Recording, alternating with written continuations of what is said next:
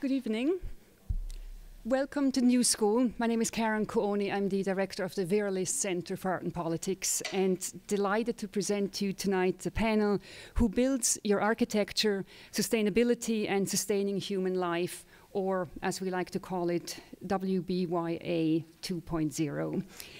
Tonight's panel marks another instance of an ongoing public research project on ethics and architecture. Inspired by similar questions raised within a segment, a small segment of the art world, this particular series was initiated by Kadambari Baxi, Beth Stryker, Mabel Wilson, and the VLC. And I can't think of a more salient question that cuts to the essence of civic responsibility, whether in the role of maker, client, or user, whether in built environments that are local or distant, or in between, the question of who actually builds the spaces that we inhabit. WBYA has had a number of iterations, the first being a public program here in this space, um, presented just about a year ago, that specifically addressed the responsibility of architects for the working conditions in which their buildings are being constructed. Workshops, roundtables, and a strategy session followed, some in collaboration with the Architectural League of New York.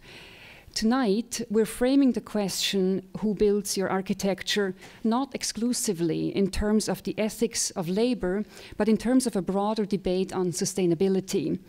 More than a token nod to Earth Day, which is today, and informed by Ryder Ann Lui's notion of the quote sustainability of workers' rights, it is a call for a comprehensive consideration of sustainability that encompasses air, water, ground, but also the people living, working, and constructing these buildings in which we live. Architecture is a complex system of relationships, professionalized, codified, regulated, and not, and at times We'll be drawing parallels and look at convergences with other practices, the curatorial being one of them. I want to thank Kadambari Baxi, Beth Stryker, and Mabel Wilson very much for initiating this long term project. I also want to acknowledge the support of Jordan Carver, who is um, also coming from uh, GSAPP to us, and who joined the project last fall. I'm very pleased to welcome back to tonight's panel speakers from the panel a year ago Peggy Deamer, Reinhold Martin, who will act as the moderator, and Andrew Ross. Oh, okay. okay. And then we have um, a new um, group of speakers Philip Bernstein, Edward Mayer, Walid Raad, Brad Samuels, William Sharples, Raphael Sperry, Smita Srinivas, and Nisha Variata. Thank you very much, and thank you for being here.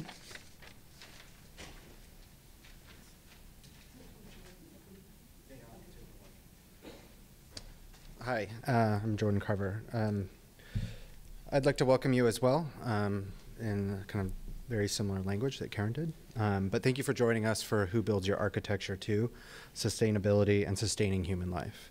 So this marks the second public event where architects, human rights activists, planners, and artists gather to discuss the relationship of architects narrowly and creative and allied fields more broadly to the workers who execute their drawings, construct their projects, and realize the, their ideas in construction sites across the globe. In June 2010, Gulf Labor was launched as, quote, a coalition of international artists working to ensure that migrant workers Worker rights are protected during the construction and maintenance of museums on Saadiyat Island in Abu Dhabi, UAE. And tonight we're very lucky to have Walid Raad, one of the founding members, here to update us on their efforts. A glaring absence in Gulf Labor's coalition was an architectural voice, any architectural voice.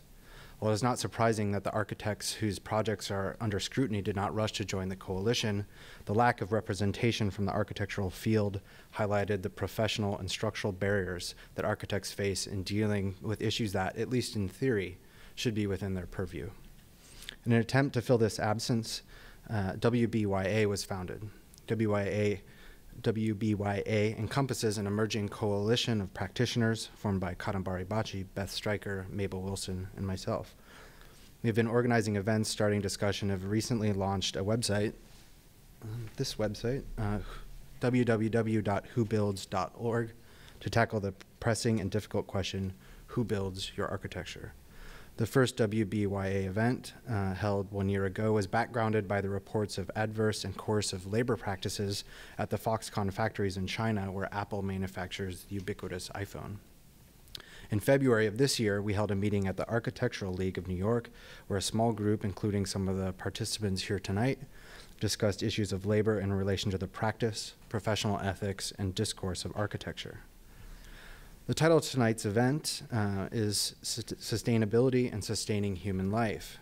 We use the word sustainability both rhetorically and tactically. Can or maybe should uh, the definition of sustainability be reconceived beyond its, beyond its simplification into LEED points and so called green design?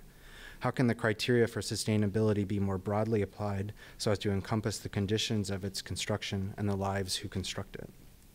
One of the goals of tonight's discussion is to move beyond an agreed upon consensus of the problems surrounding architecture and labor and to, and to start to think about realistic ways that the profession and individual architects, educators, and students can formulate solutions to the problems of labor exploitation.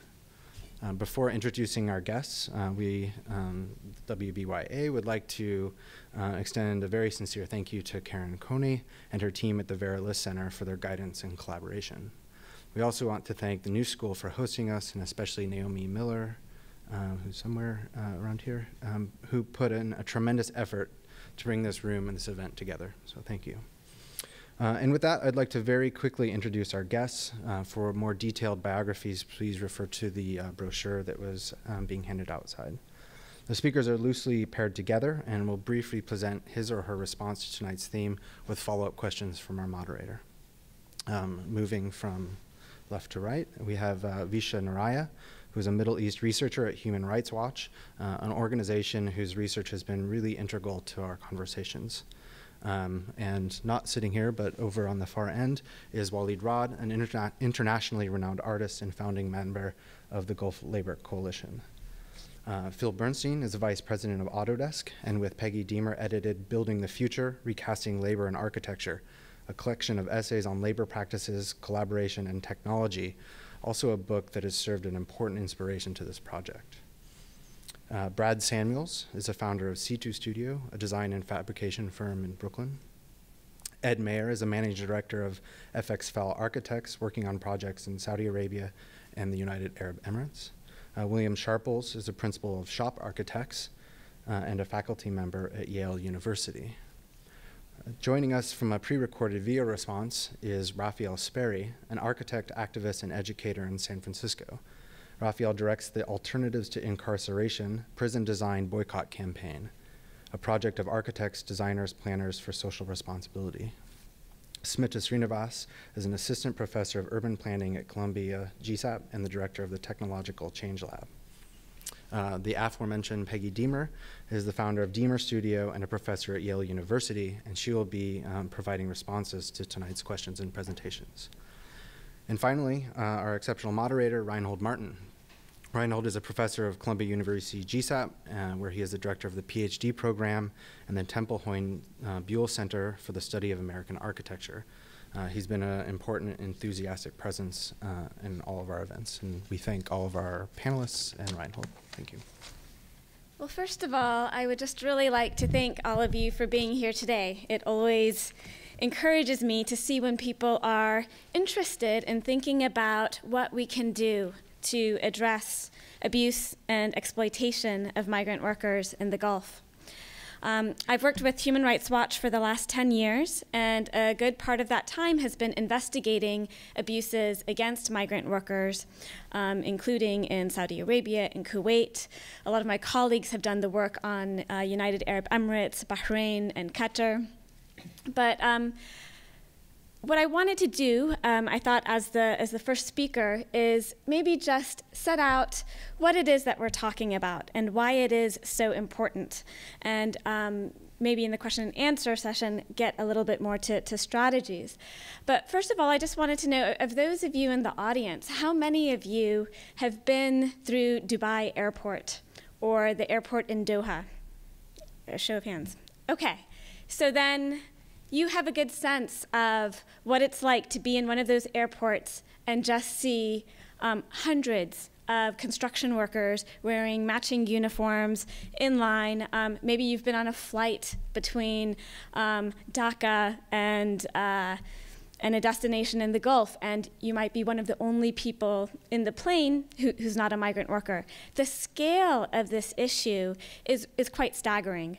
Um, many of you may already know that you know 95% of the workforce in the UAE and in Qatar are migrant workers. They literally sustain the economies of, of these countries. And yet, they are not afforded the most basic of protections. Um, so, I wanted to just um, go through some of the, the main abuses that, that we've documented. I mean, the way that Human Rights Watch works is, um, first of all, just really investigating what the reality is on the ground. So we do on the ground investigations, interviewing workers, interviewing employers, interviewing government officials, um, looking at the laws to, to assess the situation. Um, and based on those investigations, we, we publish our reports, we follow up with uh, press releases, we have a lot of meetings, sometimes public, sometimes private. And um, among the concerns we have are abuses that happen in the recruitment system.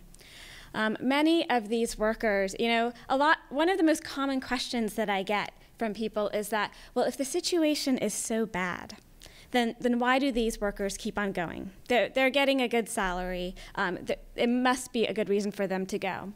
And it's very important to know that in their home countries, many workers are not getting full and complete information about their conditions abroad. Um, they may sign a contract which is very different from the contract that they get once they reach their destination country. Many of them take out huge loans which leave them indebted. Um, these can range from $700 to $1,000, $2,000, $3,000, which is a really large amount for, for these workers and puts intense financial pressure on them that they feel that cannot return home until they've paid off those fees. Um, so that's kind of the position of vulnerability that many of the migrant workers arrive in these countries with. They are indebted, they don't know what they've gotten into, um, they may not speak the language, and um, they're, they're not aware often of their, of their rights or where to turn if they are facing abuse. Um, this is compounded by um, the, the conditions that they may face uh, when they're abroad and, and the lack of mobility that they have to leave in abusive situations.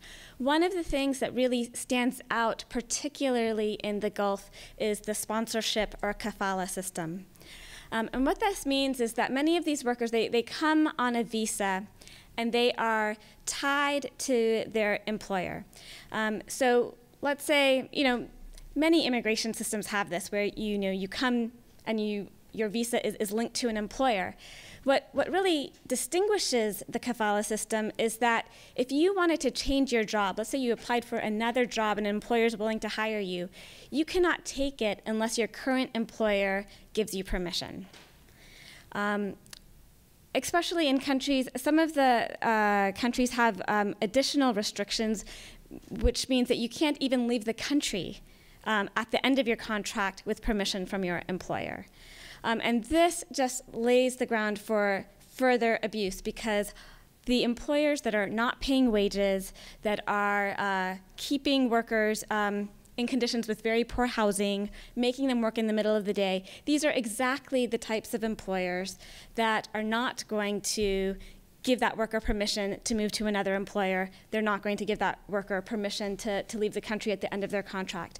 And that's one of the reasons we're seeing really high rates of uh, labor exploitation and abuse. The ILO um, just came out with a figure a few weeks ago saying 600,000 workers in the Gulf are in situations of forced labor. Um, so this is just a, a very broad uh, characterization of, of what's going on. Um, almost every worker has their passport taken. Um, and Human Rights Watch is engaged in, in several different campaigns to try to um, improve the situation, to demand greater transparency about what the conditions are, to push for uh, reforms. Um, this these are reforms at different levels, whether it be changing the, the labor laws, pushing for changes in the kafala system um, by the governments, but also engaging with um, businesses and companies and all the different actors who are involved because everyone really has a role to play. Um, and uh, I, I, think I, I don't want to take up too much time since we have many speakers to hear from, but what I you know, think we can talk about in the, the question and answer session is that um, I am I'm, I'm quite actually optimistic that a lot can be done. I think you know the, the problems are really grave. The scale is is massive, but having worked on this 10 years, I've, I've really started to see. a real change in the awareness of these issues and the ability of key actors to engage these problems aren't going to change overnight, but there's incredible potential for especially incremental changes, and we're, and we're seeing that. And um, so I look forward to discussing more what some of those might be. Thank you.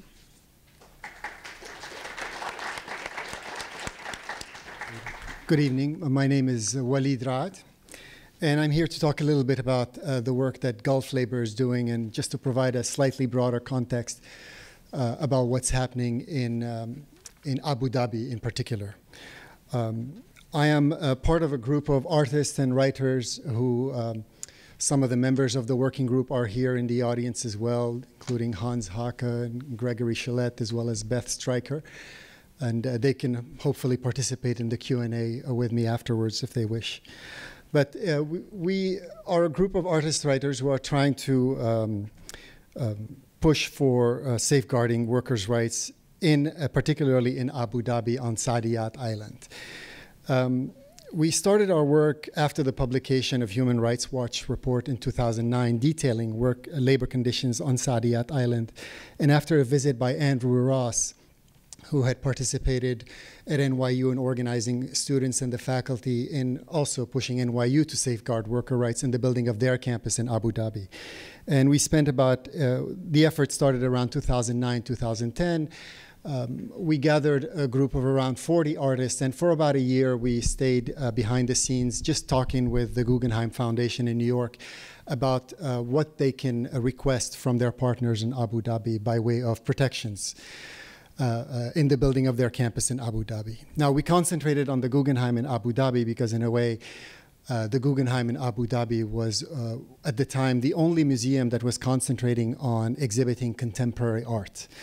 And at the time, we had also heard that uh, the Guggenheim had been given essentially by the government of Abu Dhabi around $600 million to buy works of art, 60 million per year for 10 years in acquisitions to not to unsettle the market.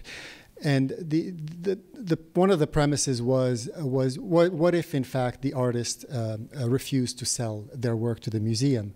The, the museum uh, had a building, but it did not have a collection. And it was about to go and buy works of art. And our assumption was that a third to maybe half of the works would be bought from artists from the region a Middle Eastern artist, Arab, North African, South Asian artist. So th- the idea was let's get together, organize, and maybe use our leverage, maybe to put conditions on the sale of our work uh, to the Guggenheim in the hope of uh, moving things along.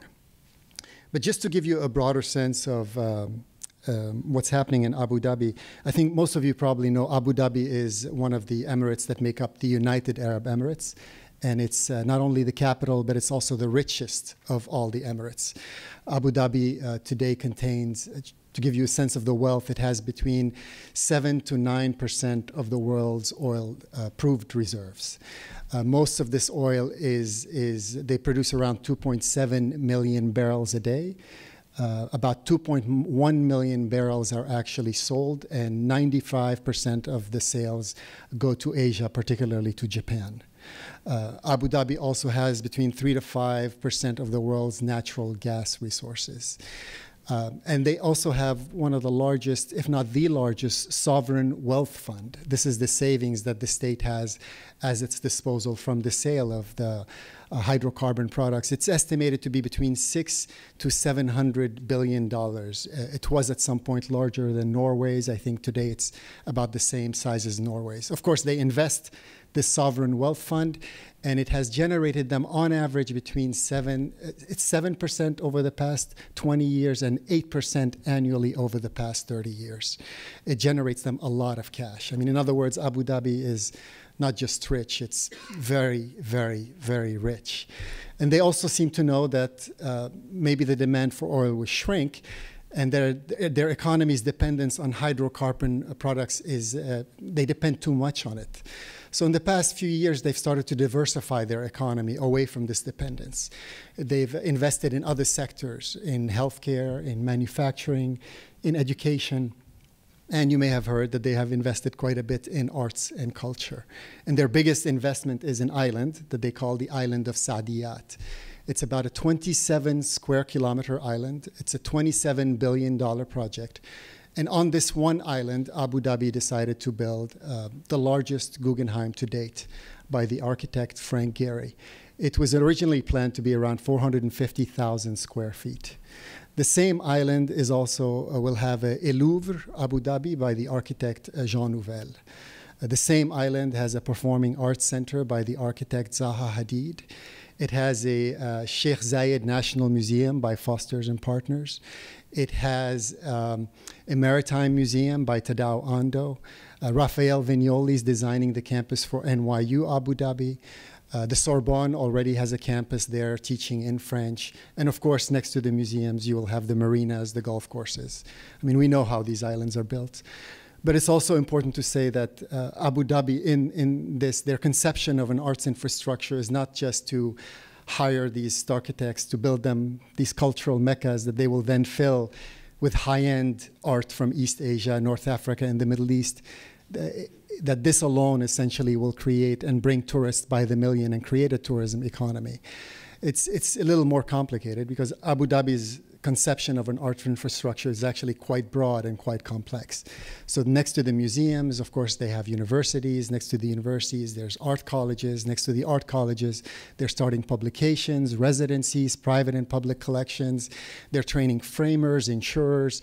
And of course, they're also understanding that if all these students come and study at NYU and the, the Sorbonne, inevitably Abu Dhabi will have an alternative art scene. So I think they're even, uh, I met somebody who's, who's working on what could an interesting alternative art scene look like in Abu Dhabi in the next 20 years. And of course, this is just, I think for me as an Arab or an American or an artist, it's, it's truly fascinating.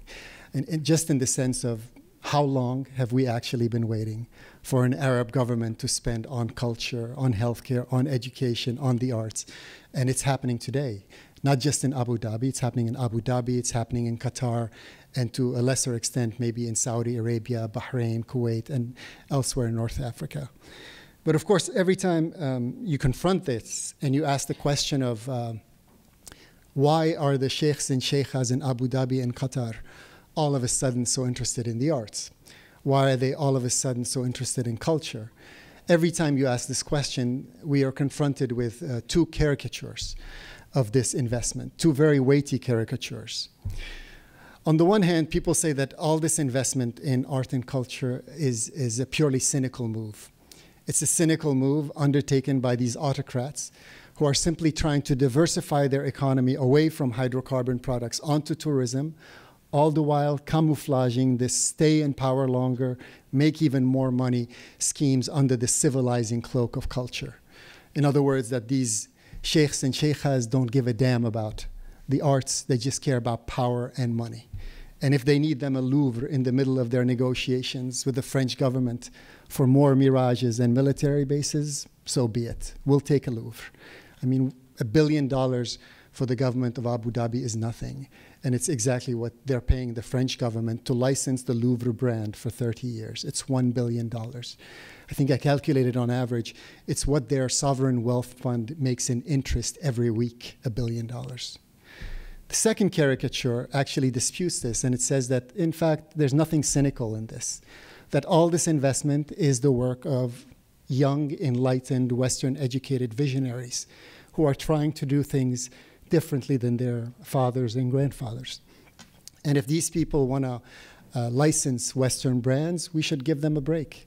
Because these people are only trying to civilize first the taste of their citizens with culture before they will civilize, democratize all aspects of civil and political life. So we should give them a break if they want to license these brands, because we know very well what their parents were spending all this money on. They were spending it usually buying more Ferraris and Bentleys and apartments in Tokyo, London, and Paris. And if now, for a welcome change, these young leaders want to spend it at home on healthcare and culture, we should support it. And we can say that, in other words, they're only trying to do, maybe in 20 years, what it took the West 100 years to put in place. The models in the West are familiar. We know very well who built the Metropolitan Museum of Art in New York. It was robber barons, or we can say even, let's call them American sheikhs. American sheikhs built the Metropolitan in New York and helped shift the center of modern art from Paris to New York 70 years ago. Why can't Arab sheikhs do the same thing for Arab culture? Now, we've talked in the coalition with some of the participants in this, and it's clear to us that uh, we don't know, in fact, whether these motives are, uh, their motives are sincere, cynical, or complex. We just assume, like everyone else, that these are complex individuals. And like all complex people, they make cynical, sincere, and, and um, enlightened decisions at the same time. So um, I will leave it here uh, with this context, and if uh, you have questions about our specific work with Gulf Labor, maybe we can talk about it now or afterwards. Thank you. So um, when uh, Mabel reached out to me to speak tonight, I wasn't exactly sure what it was I was supposed to talk about since um, technically I spend most of my day as a software vendor. Um, but most of my work, actually, both my academic work and the work that I do with my company, is about the relationship between technology and how architects actually do their work. And in that sense, I wanted to interrogate this question of how much of uh, construction is happening in the emerging economies uh, so heavily dependent on these kinds of labor resources that we've been talking about, and then specifically ask the question of whether there is uh, a way of interrogating that question in the context of how technology is changing the way architects do their work. I mean, it's, it's clear that the enormous amount of construction that's going on in the emerging economies right now um, has two characteristics from the perspective of the supply chain, which is really the, the way I'd like to look at the problem. Um, first, the volume of construction, the projects that tend to pique our interest as architects are um, you know, the Abu Dhabi, the Frank Gehry Abu Dhabis. But the vast amount of construction that's going on out there in the emerging economy suffers from the exact same structural problems and is not nearly as interesting from an architectural perspective. I'm talking about the hundreds of high-rise residential towers that are in construction in, in India, the substandard schools that are being built in China. These are, these are large-scale systemic problems of the global building supply chain. Um, and in, in the United States, the labor component of construction is generally considered to be about 50% of the cost of a building. So when you do a building in the US, uh, uh, labor is about half the cost of that building. And but delivery models, the way projects are structured to be delivered, the economics of construction are highly focused on the question of optimizing delivery for lowest first cost. How do we get this project as cheap as possible? And in the emerging economies, that sensibility, which is being uh, exported in a lot of ways because Western construction methodologies, Western design approaches, Western project management strategies, Western procurement approaches are being transferred into these other places. Uh, one of the easiest ways to solve your lowest first cost problem is to minimize the cost of labor by using the cheapest possible imported unskilled labor and simply attack the various delivery problems of construction by throwing tons and tons of labor at the problem. And it's, uh, it's a highly elastic strategy for making a project as inexpensive as possible. And you can see it, um, or at least I see it in my work, in the kinds of projects that we see where um, uh, an Indian developer who is also a construction company is building their projects at very high speed using large numbers of unskilled labor and pouring place concrete. So these projects are don't require a lot of sophisticated uh, construction insight. They're simply labor management problems. And the whole delivery problem, the lowest first cost problem, becomes one of managing the construction materials supply chain. And you can pretty much ignore most of the other part of the problem. The, the rest of the talent necessary to build a project like that is imported from the West. And the building problem itself is solved by the application of vast amounts of very uh, inexpensive exploited labor. And what we also know is that Western construction models are incredibly inefficient. I mean, this is uh, something that's pretty well understood. That the efficiency of even uh, the even the models that are 50% labor are wildly inefficient, and you can solve that inefficiency problem if you're an Indian developer or a Chinese developer by simply applying a ton of labor to the design and construction problem, which is, um, which is uh, in my view, problematic on a lot of different levels, not the least of which is the delivery models, the delivery structures, the business models of construction are widely globalized now.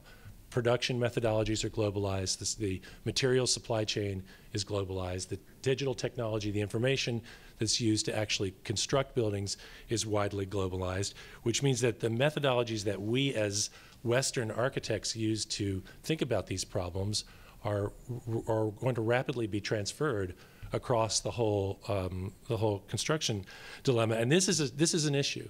This is, I think this is actually uh, one of the central questions that we should be asking ourselves is, as architects, what power or influence do we have over this particular dilemma? And this is a case where exporting Western sensibilities does not really help uh, attack the issue because uh, uh, American architects in particular are um, at best agnostic to the question of the supply chain and managing labor on a construction site, and at worst overtly hostile to the question of whether or not they have anything to do with how these problems are unfold, uh, how these problems unfold. It, this is a, a, very legible development in the history of Western architecture. It's um, it, it, its origins are from the Renaissance and the separation of design and construction that was asserted by originally by Alberti and which transited through the liability crisis of the 1980s to the standards of practice in this country today that are widely practiced, with some exceptions, uh, by folks who are in this audience, where our, our American architects in particular are not interested in and, in fact, are encouraged to not be involved in the question of what's called the means and methods of construction. How do, I, how do we actually get something built? What we're interested in is intent, and we delegate the problem of execution to someone else. So this is where the technology question enters into the issue because uh, digital technologies that are starting to emerge today, things like uh, building information modeling or simulation or digital fabrication strategies, are inserting themselves into the global supply chain in the sense that they refactor the relationship between the act of design and the act of construction, the, the, the, the intent of the architect and the architect's ability to manifest the physical result of that design uh, of that design problem. And one of the ways to look at that, at least in my view, is that these kinds of technologies, because they do bridge this gap, create a new set of obligations for architects to involve themselves in the means and methods of construction, because that barrier condition that used to exist, that was at both contractual and informational, both in the terms of the way the delivery models are structured and the way information was transmitted through two-dimensional drawings, is starting to disappear.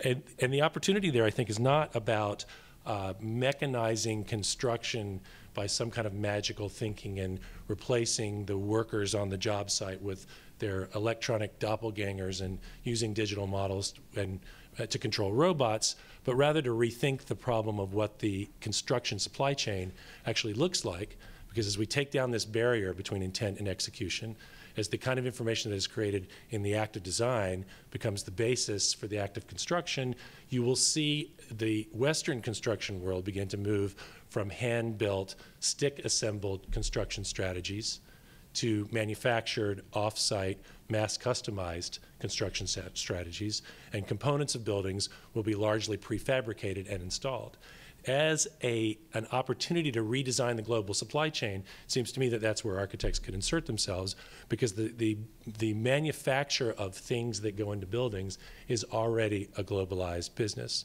So the question then becomes, as we begin to, as we begin to see more and more construction in these emerging economies, do you solve the lowest, do you, do you repeat the sins of the past Do you re-instantiate uh, Western delivery models, lowest first cost, non-productive models, or do you rethink the design of the supply chain in, in its entirety and begin to create sustainable, on-the-ground, manufacturing-based uh, con construction support systems where people can actually work and keep a job and work in a safe environment and learn something and, and learn a skill that doesn't involve simply being uh, exploited, deposited on a site to be an unskilled source of labor.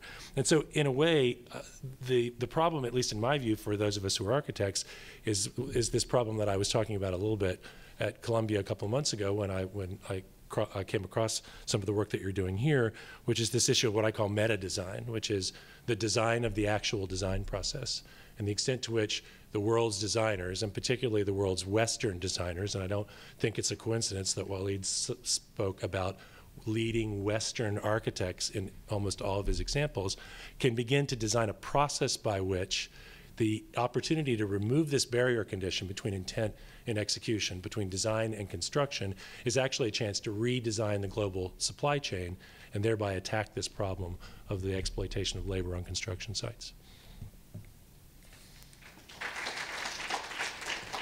Okay, I'm going to um, sort of get away from uh, speaking about labor specifically and focus a bit more on how architects and designers can work collaboratively, collaboratively with human rights organizations, um, something we've been doing in the past few years. Um, there's a lot to be said on the kind of relationship between, uh, hold on one second, sorry. Um,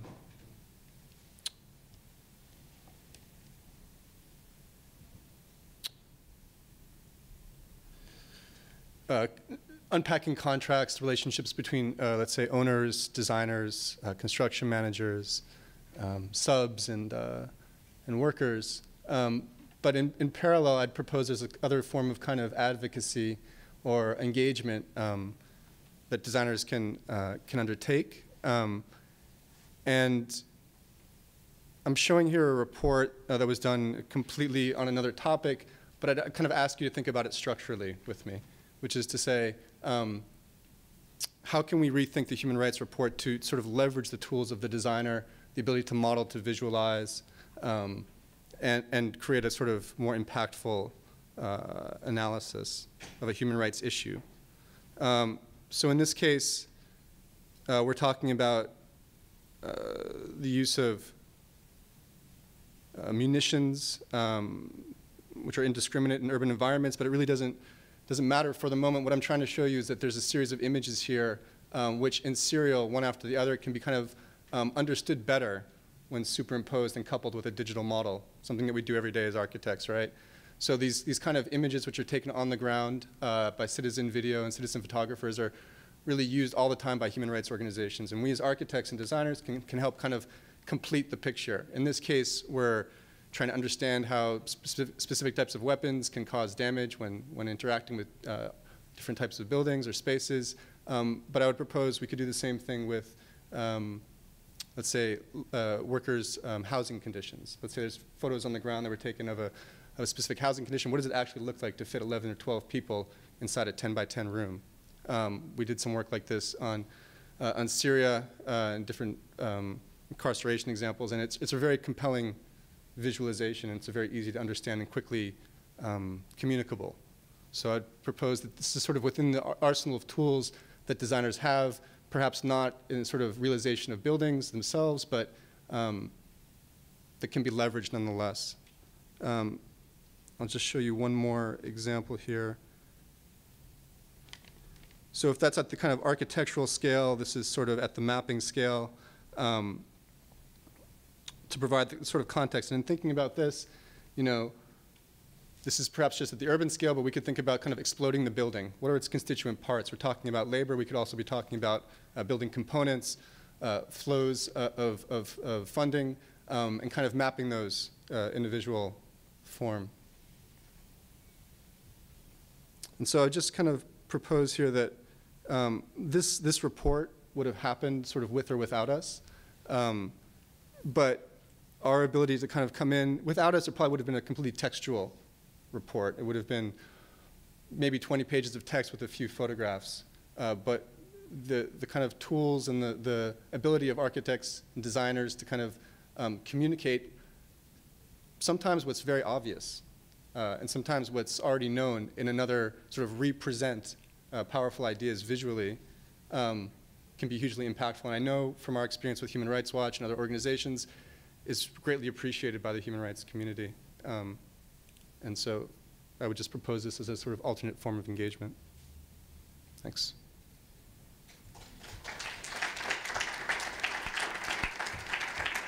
Uh, good evening. My name is uh, Edward Mayer, and I'm a senior associate at FXFOWLE.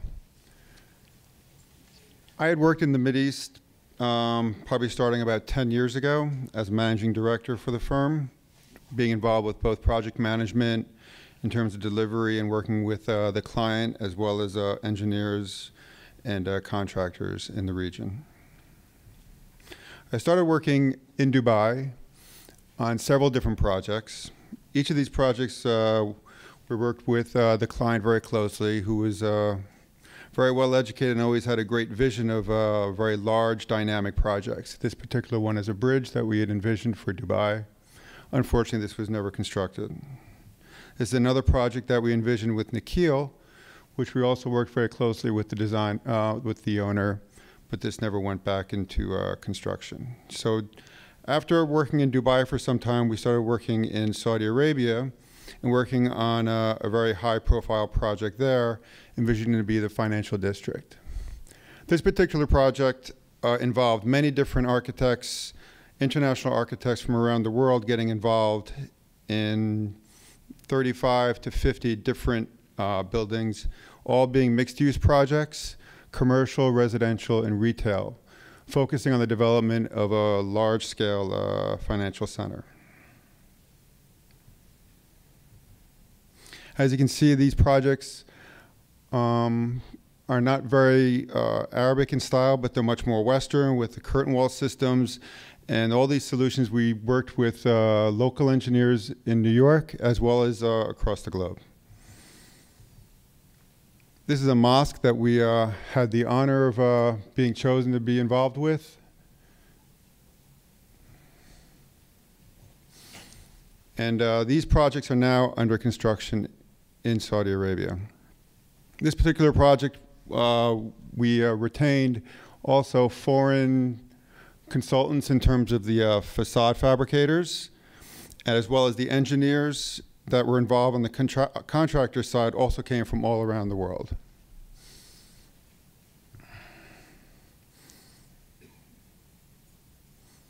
It's a very large construction site. When I first started working in Saudi Arabia five years ago, the sites were not the sites were not very clean. The sites uh, really were very disappointing to be working in and also being involved with. But as time went along, the contractors really started to focus on the environment with which the, the uh, workers were working in, which I was very impressed with. They started uh, providing, requiring more helmets, requiring the protection for working there, as well as in getting involved more foreign firms, more foreign uh, consultants doing facades, providing all these large-scale services that really brought um, a greater expertise to the site, which I felt happening after the first couple years of being involved, where that more educated people were being involved in the project, more people that were actually showing a concern and a care for the development of these projects. The conversations, the communication started getting better because of this. Um, in the beginning, there was, as been, has been even discussed here, about the multitudes of uh, workers working on these projects. But that started to get reduced as time went along, and now it's there's a great um, expertise happening on the site, which uh, I'm getting more and more impressed with, and it's more of a better engagement happening there. Here you can see uh, just the type of construction happening with it's still poured concrete, but the facade systems themselves require a delicate engineering service and a delicate cons um, consultant service that is uh, being provided by some of the top uh, curtain wall consultants around the world. Here you can see, um, I'm not sure if it can show up, but just the sites themselves are much cleaner. The, uh, the protection that is provided, the, uh, the, in terms of all the grading, in terms of all the fencing, it's, and then just the preparation for when uh, the curtain wall itself will be brought to the site. Here is the same. And this is just to reflect just the scale of the site and just the multitude of buildings that are happening. Thank you. I'm going to kind of jump to another continent, um, Africa. We um, SHoP architects firm of about 100 people. We're based in New York. We've been around about 17 years. Uh, we're still relatively young uh, in comparison to a lot of firms that are working internationally on these scalar projects. We've, uh, we've actually worked in China, we've worked in India, and actually one of the reasons we're really not so much involved in those, those, those, those two countries is really because of the type of engagement uh, we're used to. Um, I think Phil made some reference to um, the kind of the whole process of design and actually implementation. For us, it's all about making. And for us, making is not only you know, developing a design that's rationalized or founded in the process of making, but it's also about the process of communication. And what are the tools that we use to do that? And, you know, I think of architects in the past, Lou Kahn is probably one of the best examples, Corbu to another, where you had an architect or architect, a Western architect, come into a country and look at its workforce look at the materials and then allow and rationalize the architecture around that. And I think Africa probably represents the greatest opportunity in terms of rediscovering that. Um, uh, the two projects we are currently doing, both have broken ground, is the Botswana Innovation Hub in, in Gaborone, Botswana, and the Exhibition Pavilion in Konza, the future Konza Technology City, just, um, just 60 kilometers uh, south of Nairobi. Um, talking about two scales. One is, you know, engaging the local craft in the making process, and then on a larger scale, the idea of knowledge transfer. And what I mean by that, I don't mean in terms of just technology and the A&E industry, not only in the construction industry, but more importantly in the academy. Actually going into the universities and sharing the technology, uh, the way we process these ideas and ultimately bring them to fruition. So the two examples I want to try try show is kind of in terms of working with lo local cultural guilds. In the, particular in the case of the uh, Botswana Innovation Hub, this is a 350,000 square foot uh, innovation hub that the government of Botswana is building. Again, a very wealthy country relative to the rest of Africa. Uh, they they uh, produce the uh, largest quantity of clean diamonds in, in, in Africa. But the president realizes diamonds aren't going to last, just like the Saudis realize petroleum won't last. And so the investment is into the future of its population in the region in terms of creating an incubator for startups. The uh, site is under construction. But uh, one of the things that uh, we found uh, as we, over our two and a half, three year period with this client, the government, was that they were interested in us engaging the local workforce, particularly the artists, and um, particular in terms of furniture design, uh, interior design, we're working with Peter Mabeo, uh, furniture designer, uh, who has a factory within Gaborone where we're designing some of the light fixtures as well as some of the furniture for the Innovation Hub. And again, um, in broad terms, using technology in which to manage this process. The, the president was also looking in terms of, you know, trying to engage the local culture in terms of a craft that was very, very, very important to Botswana, and that's the craft of basket, basket weaving. And basically, uh, this, this, this gentleman, Oliver Groth, who manages the guild basket weavers in the country, and this is basically to promote a craft, a, a dying art, um, to bring it back, to actually see this vision come alive within this piece of architecture. We met with the artists. And again, it's about, again, the artists engaging us, communicating a process in which making is, is at the heart of it, understanding the tectonic in which these baskets are made, and begin to start to think about, in terms of a dialogue, how we could start to rationalize it in terms of a piece of architecture. In this case, the cladding of a 350-seat auditorium within the Innovation Hub, the first element you would come in contact with.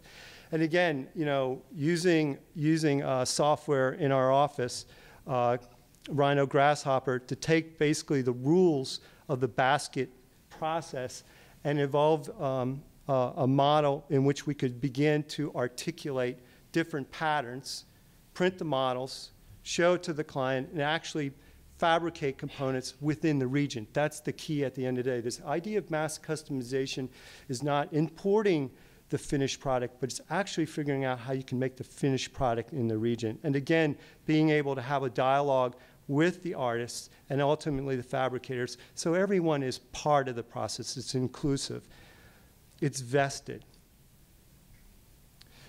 The challenge we, Africa's um, somewhat is, is, arrived at is, is foreign investment. The Chinese are in every single country in Africa at this point, uh, basically making um, uh, deals for mineral rights, land, in, in trade for construction, subsidized construction, where they import thousands, thousands of Chinese labor, usually third tier construction companies, who basically come in and uh, I would say, to be honest, pillage the landscape. We all know the poaching problem in Kenya. Uh, it's, it's, it's, that's just the tip of the iceberg. It's also the impact of the culture of these communities that they have the, um, the most um, um, negative impact. So in the case of our project in Kenya, our client asked, again, this is, this is the government of Kenya, asking us to try and engage in some way, first the university, and second all, the labor force. So the idea of knowledge transfer is, is, is again, it's a process of communication. Let's just give you, give you a quick, quick background of this project. We're, we're, um, we're basically on a greenfield site. It's 60 kilometers south of Nairobi. We just finished the design for a technology city that will be on the site. First phase is around 1.5 um, million uh, square meters. Um, this is the first phase. Again, there will be 10,000 units of worker housing that will be built for this first phase. Again, something we're working with a local developer in terms of modular housing, something that SHOP is very much involved here in, in, the, in New York City with uh, our work we're doing over at Barclays. But this is the first building that's going to be built on site. They've broke ground on um, this past February. It's a 30,000 square foot exhibition pavilion, basically for the project management as well as um, uh, um, developers to be, be able to work out of on the site. The site is about 5,000 acres. Uh, the pavilion is located a, near a migratory route. And the thing is that the client wanted a building that, that, that they, um, they had never seen in Kenya, but he wanted the building to be built by Kenyans, not by foreigners.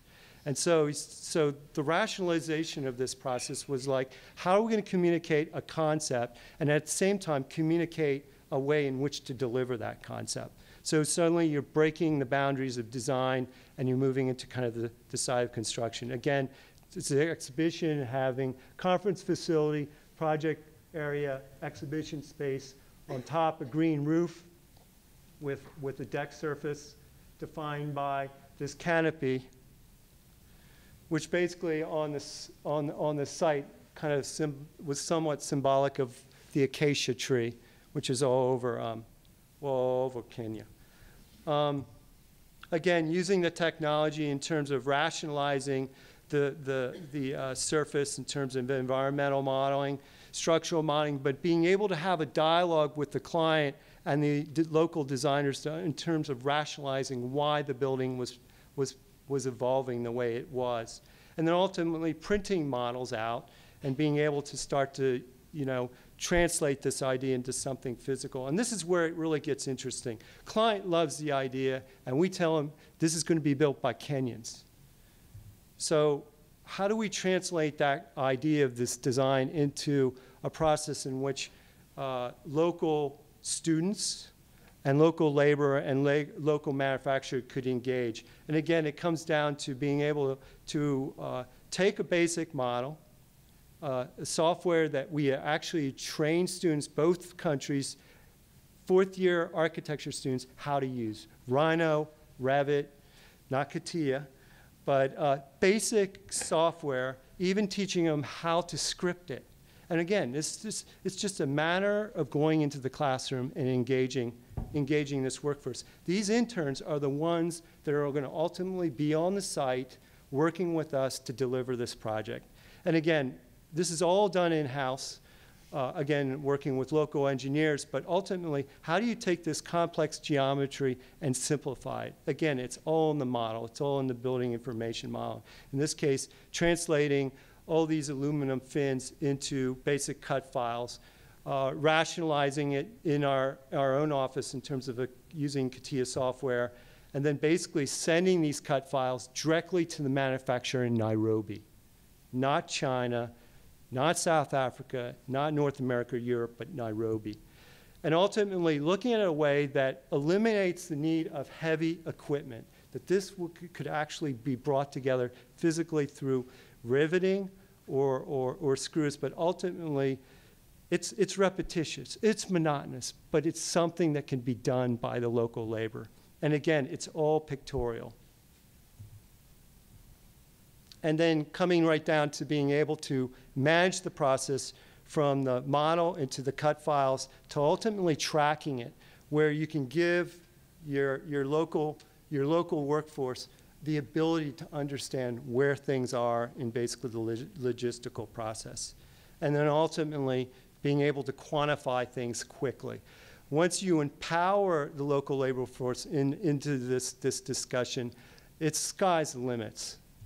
And I, I find uh, this scale, you know, we, we've all, well, I teach, and a number of these individuals sitting up here also teach, and we know that through this process of using software communication, we can get our students to, you know, build anything.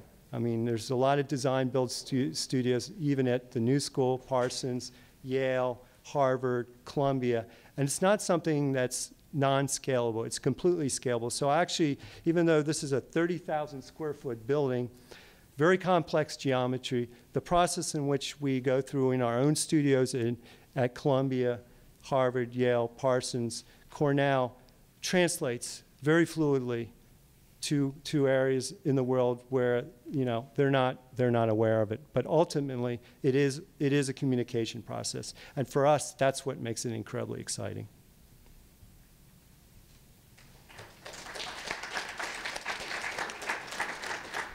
Going to just uh, speak briefly um, about uh, some of the trends already referred to uh, here, but from the perspective of somebody who works on uh, the economic policy side and uh, from the planning side.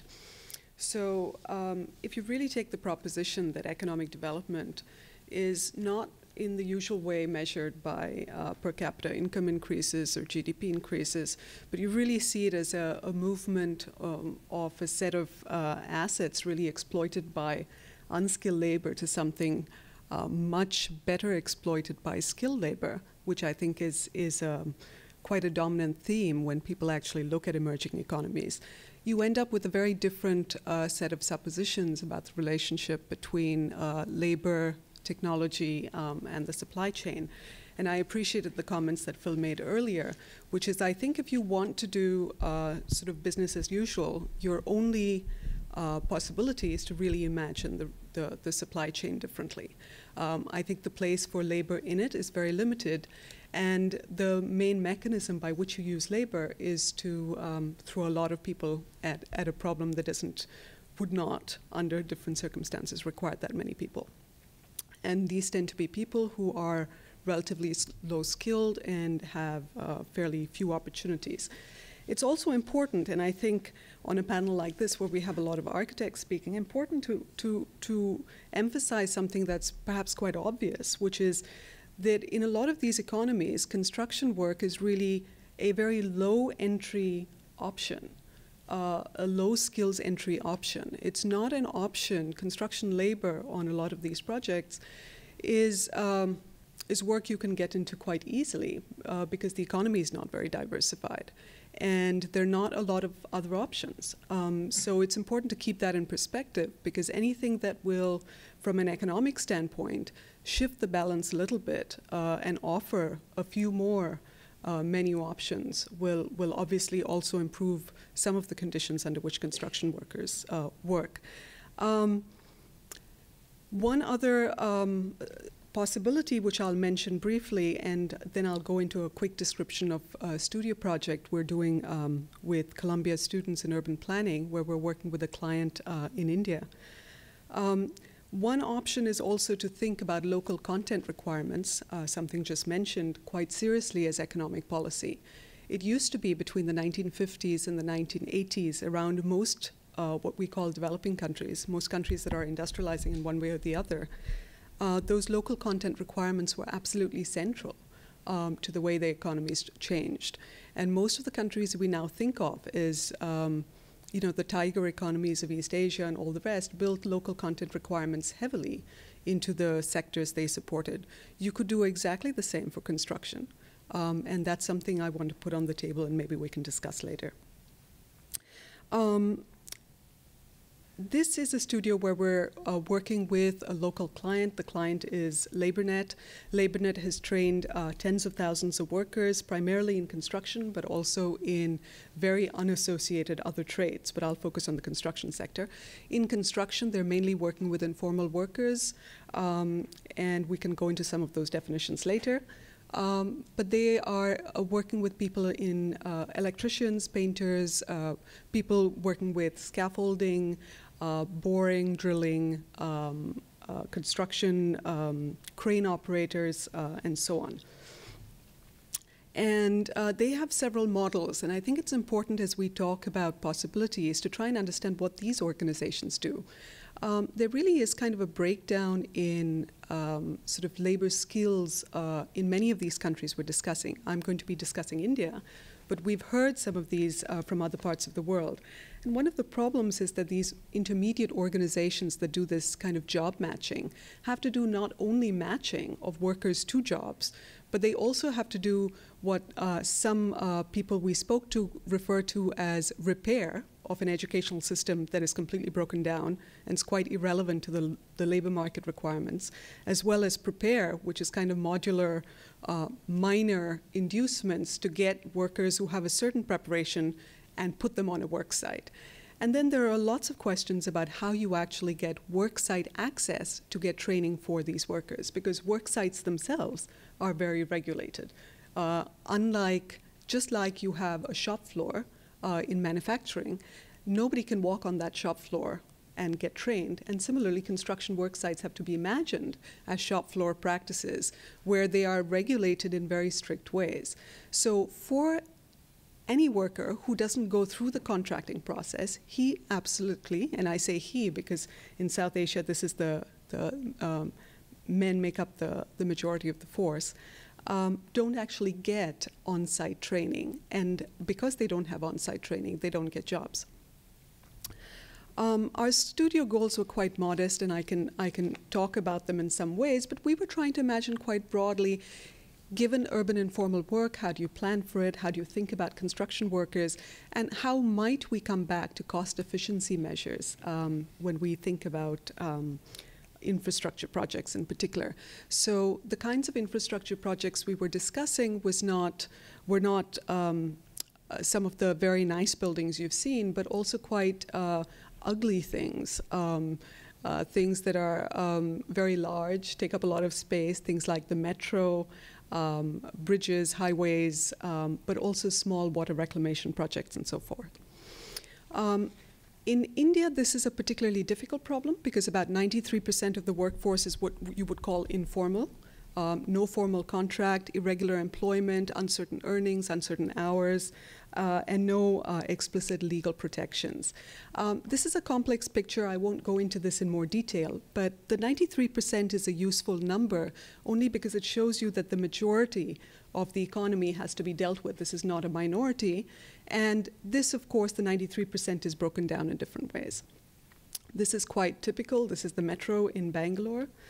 Um, and these are sort of metro work sites. Uh, you can have people sitting by the side of the road, their families. You have these tin sheds uh, in terms of uh, where they, where many of them stay. And when you actually look at the supply chain for these different projects and you ask, uh, why are skills and productivity valuable, you really have to kind of take into consideration the different economic um, propositions um, that each of the supply chain actors is uh, debating. Uh, when they think about labor productivity, some of them are thinking in terms of uh, uh time savings uh, and cost savings, but they rarely discuss it in terms of people savings. Why? Because, of course, labor is plentiful, it's unskilled, and it's inexpensive.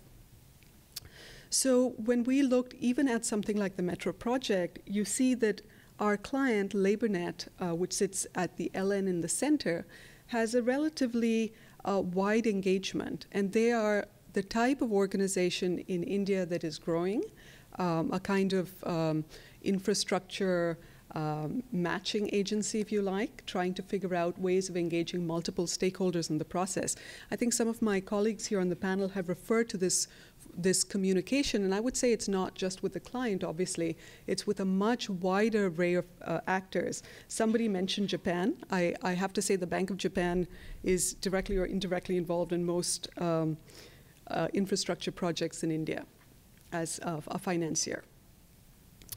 Um, there have been, and I want to end, um, I sort of want to um, take you through the next few slides with kind of a, a moment of optimism Whereas I think um, even in a country like India, which has such a staggering scale of problem, and what happens in India happens is reflected in different ways across South Asia. Um, there have been huge efforts um, to um, figure out how to deal with this.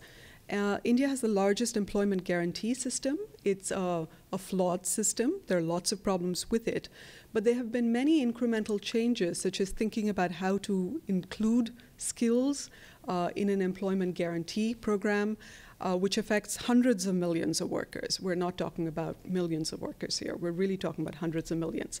And I want to kind of emphasize the optimism I have because there are a huge array of actors, whether they are government officials who are fairly progressive, um, many of these job shops, um, architecture, design coalitions, but also a very large number of uh, economists and planners who are trying to think about how to build it into existing uh, regulation. So I don't want to paint an entirely happy picture, but I would say a lot of things have changed. And uh, in white, you see the National Skills Development Corporation here. And this is a public private coalition that, despite its problems, I think uh, at least is putting skills somewhere in the center of the debate. Uh, the vocational ed education system is broken, and if you actually look at the uh, blue arrows, uh, you get a bit of a sense of how many people are sort of exiting the system and going into trades that are not certified uh, in many ways. And these people then don't get recognized, and it's a bit of a vicious cycle. So I'm going to um, sort of go forward uh, thinking about uh, just a few opportunities um, that do exist, even in one city. Uh, this is, um, depending on your opinion, ugly or beautiful uh, Infosys campus um, in Bangalore. And companies like this are building campuses across the country of 20, 30,000 uh, people. And uh, even on these, for efficiency and good economic reasons, many of them are reconsidering what exactly they need to do in terms of getting skilled workers on work sites and changing some of their building practices. I won't say it's the most optimistic story, but, but many of these um, actors are looking for new coalitions. Um, this is uh, work that one of our students has done. Um, these are other kinds of uh, building techniques that could be done at a different scale. I'm preaching to the converted here. Several of you, of course, work in these. And the students really were trying to um, think of different kinds of valuation in terms of the economics that would change the range of options available for evaluating public infrastructure and not just thinking of public infrastructure in single ways. If you title this panel Who Builds Your Architecture, I would say another way to frame it is what is public about public infrastructure? So if you can make a claim for new demand in different ways and new coalitions that pressure um, the infrastructure providers in different ways, there's actually quite uh, a bit um, of traction to be had. So I'm going to just uh, leave this uh, slide up and I can come back to it. But there's a whole series of things happening even in one city, and I just want to point out that it's by no means a model, but I think there's uh, there are quite a few things that can be done, so both from an economics and planning perspective. Thank you. Um, it's maybe more in the spirit of getting the audience involved and questions going for me not to go up to the podium. Can everybody hear? Okay, okay. Can everybody hear? Um, there, um, I want to say thank you to everybody. Amazing presentations, really diverse set of, of issues that come up here. I, I think there are a couple of things that I want to um, focus on. Uh, one is the issue of labor, because we've seen different examples about what labor actually means. And on the one hand, we're on mass, large um, projects like we're seeing from Fox and Fowles. We're talking about a laborer who is um, unskilled, um, untrained, is not part of a craft economy, is not local. Um, so, so there's that, and they're engaged um, by contractors who are very distant from um, the architect and, and the process of design to something that is slightly more local in, in Africa, where, one, where an architect could really go into um, a community and um, engage with perhaps unskilled labor, but um, but um, think about how in the, probably a new supply chain can train them um, into a into a process where they're their local knowledge can turn into a craft design-based skilled um, production that gets involved with with um, the kinds of thinking that the architects are bringing to the table. Um, and I, I would say that that one of the things that I think makes it difficult for us is that when we talk about labor, our our sense about what it is changes radically. You know, one is it's overseas, and we're seeing different kinds of models overseas. Um, but even if we weren't going overseas, I'd say that we don't even have a, a, an accurate picture of what labor is. Is it union? Is it non-union? You know, how are they engaged? I mean, I, I, I think this is all part of the div the divide that I think Phil referred to, and I think we all know about, that um, keeps the designers away from the actual builders and, and the laborers. Um, but I guess I want to uh, point out that part of that abstraction, the reason we don't have the picture, is partly one of documentation, which, which I think we talked about. But I would also say that I don't think architects in their own practices have a sense of labor. Um, and I think we don't have a sense of labor because we don't actually think that we as, as um, partners or, or um, owners of, of our firms think properly about our own practices when we hire um, cheap labor. Um, I, th I, think we don't think about fair practices within our own offices. Um, and I also think that the students and the recent graduates who are coming out, the people who we employ, don't think about themselves as laborers. And so I'm trying, I'm trying to insist that this issue of labor is an abstraction for many reasons, but it starts at home. Um, and it starts at home because we don't actually think about the, the proper practices in our own offices.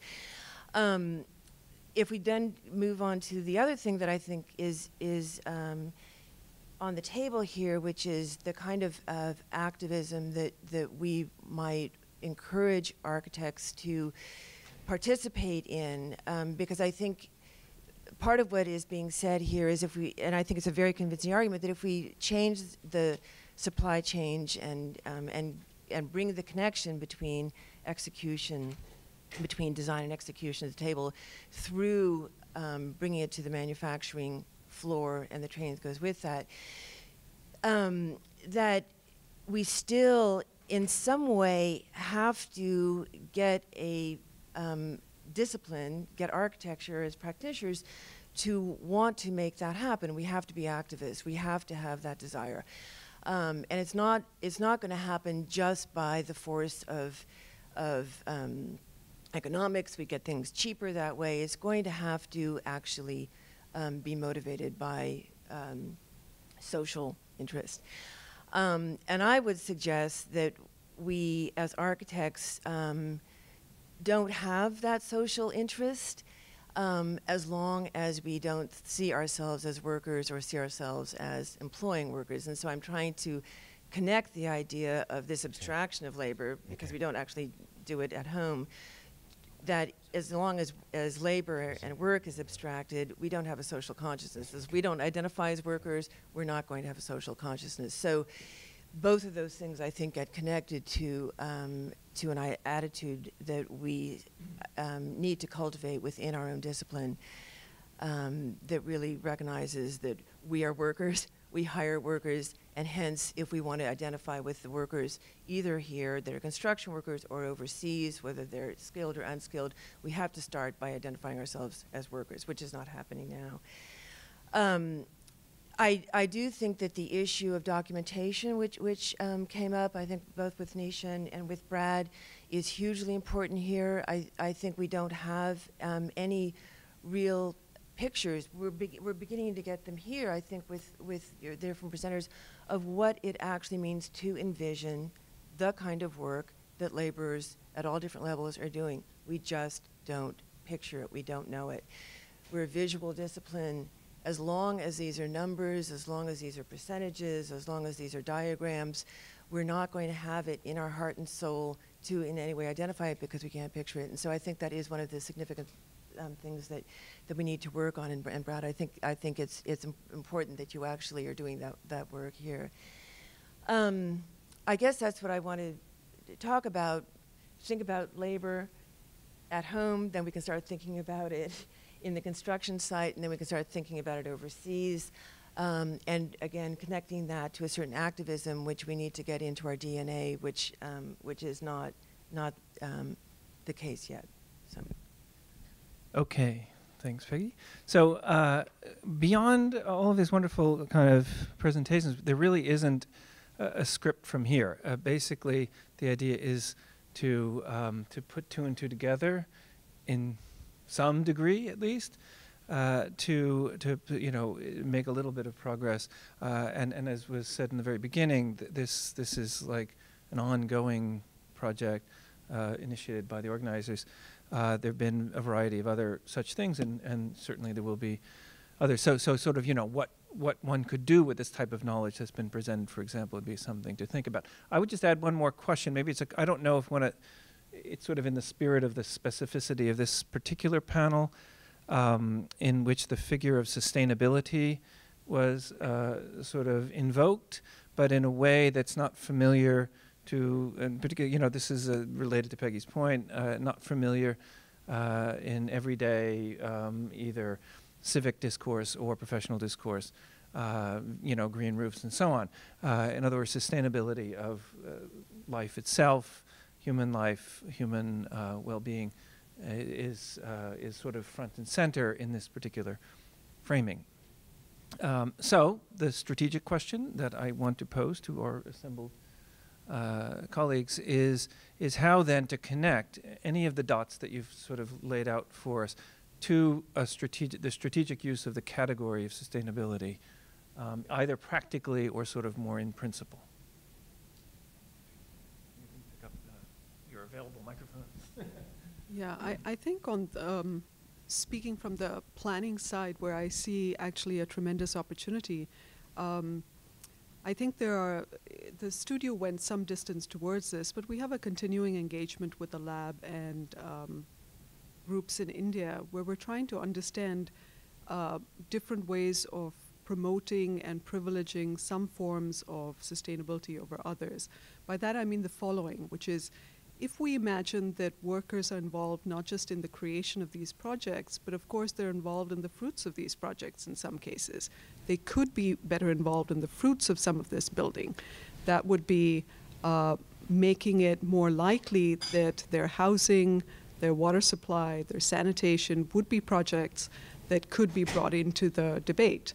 Now, it isn't just social conscience that would get this to happen. There's tremendous pressure um, on the government in that case to actually see some of this through. So there is a political mission, and I think there is a, a need for advocacy uh, and and a lot of campaigning to get some of that uh, seen through. I think there have been moves to, for instance, um, maybe to take a leaf out of the uh, other sectors uh, instead of just looking at the construction industry alone. Uh, there's some interesting lessons to be learned from how gains have been made in the health industry. Uh, gains have been made in water, uh, waste, and solid management in the way in which workers have been brought in.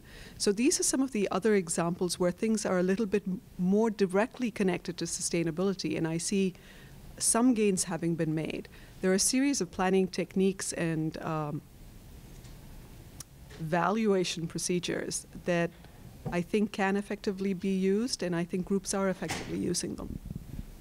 Sorry, but just to add, add to this, the in a, in a way, I take the framing to be something like the category of sustainability has a kind of purchase, uh, culturally, politically, yes, but but uh, you know, in the imagination, and and is being leveraged here in in a certain way, and that that's I guess what. A, you know, particularly like to, okay, on the one hand, there's policy, but then then there's the arts, and then uh, which too speak that language. And of course, architecture speaks that language, and it, I take it that the the this, the you know little the sort of tactical move here, uh, which could become more broadly strategic, is is to insert into that language um, or modify that language a little bit uh, to incorporate the well-being of humans um, uh, who make this the green design and so on and so forth. So, uh, does that make sense? Anybody have any recommendations? This is an action, action-based uh, group. The plan is to have a plan. How many architects do we need to make a plan? Yeah. yeah. If I could just respond. I mean, I think tactically, I think, I think there is, I think there is some purchase to it. Um, I don't think it should be overextended. I think people tire from the phrase sustainability as well.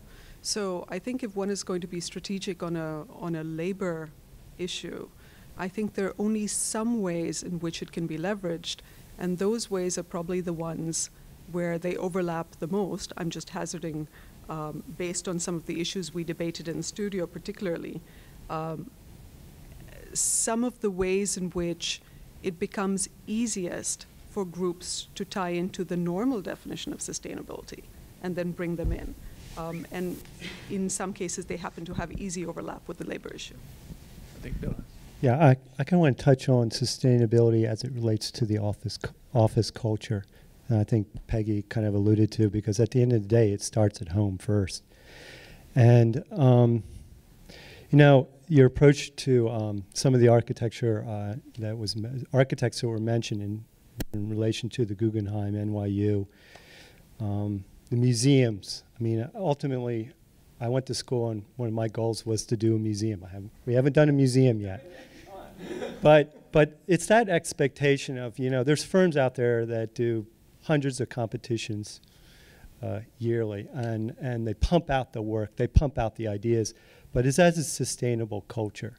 For us, um, you know, the seven partners that make up SHoP have very diverse backgrounds. We actually came to architecture kind of in our midlife, and uh, whether it's finance, you know, uh, political science, engineering, that really had a huge impact in terms of thought process, ideas in the office. Because when you rely on one idea and one person, it does become fixed. It becomes very uh, static. And so when we make reference to you know this process of communication and investment, and, and you know when people become part of the idea, part of the solution, Lou was very good at this. He would, he would. It wasn't just about him coming in and projecting an idea. It's getting everyone to kind of buy into the process of this idea and then, you know, bring something to the table. And ultimately, for us, it's no different than when we're working with our own staff and allowing them to engage the process of the design. But it's the same thing for us when we get into the field and you're engaging someone on the site. I have no problem, none of us have any problem walking up to a laborer and you know start engaging them on an issue whether we understand what's going on or not, uh, you know, starting a dialogue. And it's kind of scaling that relationship. And again, it's the kind of culture of design and making that at the end of the day, is the most sustainable way in which to work. It's not fixed, it's always changing, it's always evolving, it's always adapting. And at the end of the day, I mean, that's, that's kind of the, the, um, the hope for the office that, you know, even without the founding members of SHoP, the office will keep going. And in a sense, that's, that's kind of the way we look in terms of our construction process, our making. And this is something you translate not by a singular approach or a single idea, but many approaches in which then you use technology in which to, to you know, enhance that. So I think from the standpoint of sustainability, from office culture, it's a culture that's not fixed, but it's always open, and it's always translation, it's reversioning itself. And I think that's something that's incredibly, uh, uh, that's a translation you can make into any scale, in particular in terms of the building process. I mean, maybe I'll. Um, we, we, took an interesting trip at some point in uh, Abu Dhabi. A few of us who were here to uh, the Workers' Construction Village, which was presented as the ideal kind of a model. So it's it housed currently about 10,000 workers, and it's built to house about. Uh, it's expected that it will have about 40,000 workers.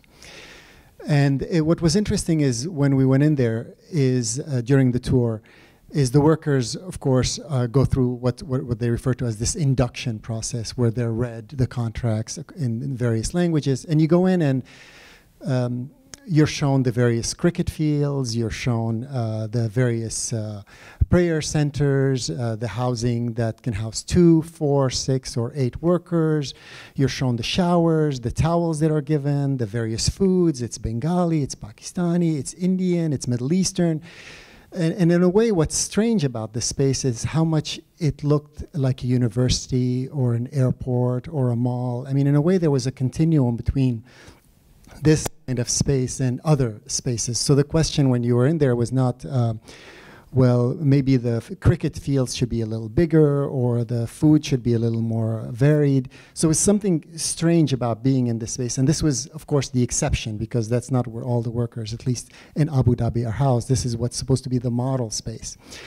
So seeing the space and seeing it um, on this continuum with other kinds of spaces, uh, with, again, the university, the hospital, the, the mall, uh, the airport, I was trying to think of what it what it was that needed to be visualized in this case. Let's say, uh, because I found I think the rethinking of the supply chain and this idea of visualizing really pertinent um, in this instance. And I was trying to think how, how what is it that needs to be imaged here? What is it that needs to be visualized? Is it is it the transfer of the workers from um, uh, Kerala, the, the, the, the exact transfer, the induction process, the movement? but there were also very non-visual kind of, they were immaterial kind of elements uh, that needed to be somehow visualized that I think you're working on. And maybe I would love to hear more about the rethinking of the supply chain. I mean, uh, the more ideas you can tell us, at least, I'm sure it'll be uh, helpful for us in our work. Well, I mean, could, I think it could be really interesting if um, if one of the extensions of the shift in the means of representation from these kind of abstract diagrams called plans and sections to models could be extended to this idea of understanding the implications of certain kinds of construction decisions. So when I decide to use a cast in place concrete building in the outskirts of Mumbai based on some kind of data extraction, I'm told, well, let's see, that's 565 guys for three weeks.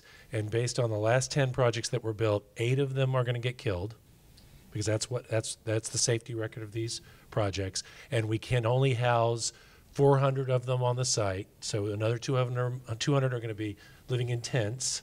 I mean, it's this kind of combination of big data, geospatial information, and construction strategy, and and this idea that you could actually understand the implications of these decisions a priori, which is from a technological point of view.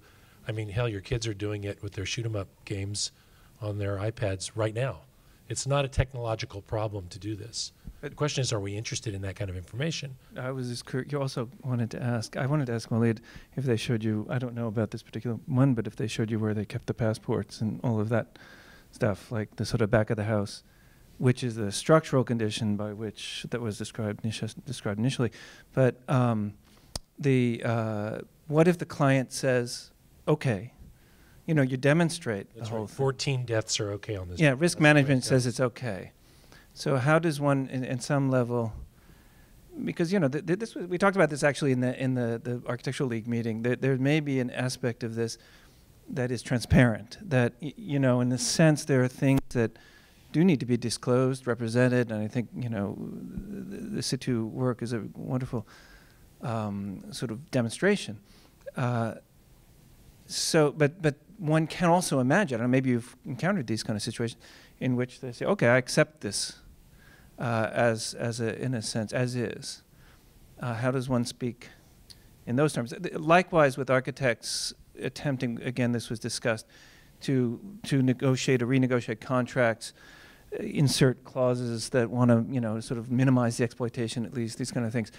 You know, what? How does one? What do you? What do you imagine would be would constitute leverage at that the moment of truth?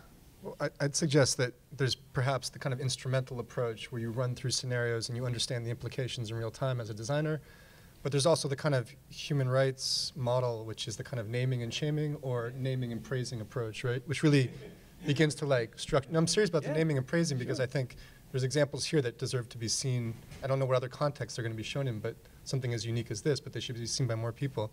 But the point is that it, it begins to um, form behavior, and, and, f- and, and, and we anticipate these problems, um, and so there's more eyes on decisions that are made. So I would, I would say it's, it's both the kind of in real time instrumental approach as well as the kind of uh, activism, a- advocacy approach in parallel. That's a good point. I just want to to add add a piece to that, which is I think if shaming, advocacy, all of these are parts of it, I think as much as we discuss the construction supply chain, one of the things that has evolved in parallel to it is public administrators who are Speak more. who, uh, public administrators who are, um, I think, struggling to come to terms with a reimagination of what the construction sector would look like. So while we visualize and so on, and one of the difficulties is um, showing the kinds of risks that financiers, uh, developers, and public officials would perhaps also uh, be looking towards, not just. And, and I think there's a lot of power to that. And I think coming back to the sustainability debate, one of the pieces to be to take tactical advantage of is the whole idea of risk. Um, around the, the documentation issue, in some way, it's, it's related to the sustainability issue. Um, it does seem to me that part of what we're talking about are people's people's lives. That these aren't just laborers who exist um, either in either in the housing or um, on the job site or at the moment that they're putting their documentation into a safe or whatever. Um, they're larger lives, and they've come from some place, and that, that place that they've come from, um, they're now cut off from. They can't go back freely, and so it's. I I would I would want to suggest that it's it's. Um, it's the social life of the labor that, that would be fully documented too, because I think that's what, what's at risk there. Um, and I mean, just just then to connect that to the sustainability issue, I, I think it, one of the things that that would show is the very very specific ways that different laborers are are, I don't even want to say exploited. The, the the way that their social life is changed by the particular contracts that they have or the particular work that they that they do.